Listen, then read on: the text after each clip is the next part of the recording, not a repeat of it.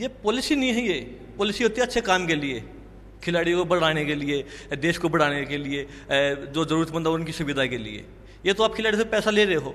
कि कोई जॉब करता है तो जॉब कितनी कितनी तनख्वाह मिलती है? पच्चीस हज़ार तीस हज़ार। और वो भी तब है अगर सीधा खेलता है तो सारा पैसा सरकार सरकार लेगी।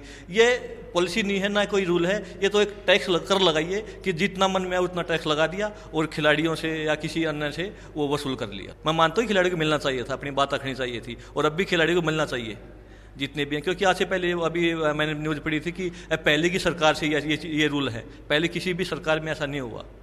ना किसी खिलाड़ी ने पैसे ऐसे दिए, ना किसी सरकार ने मांगे। ये चीज़ें गलत है और मेरा मानना है खिलाड़ियों को मिलना चाहिए सरकार से सीएम साहब से भी खेल मंत्री से भी और रखनी चाहिए बात। ये क्योंकि ये चीज़ें बहुत गलत हैं और आने आने वाले टाइम में खिलाड़ियों का भी नुकसान है और पूरे हरियाणा और देश का नुकसान है ये। इसलिए चीज़ें गलत हैं और जब आज, अब आप आप ही लगाइए, सुबह जब से भी ये लेटर निकला है, आप सभी मीडिया वाले हैं, सभी खिलाड़ी हैं, अपनी राय व्यक्त कर रहे हैं, रख रहे हैं, कोई ट्विटर के माध्यम किसी भी। इसलिए ये चीज़ तो गलत है तो गलत है।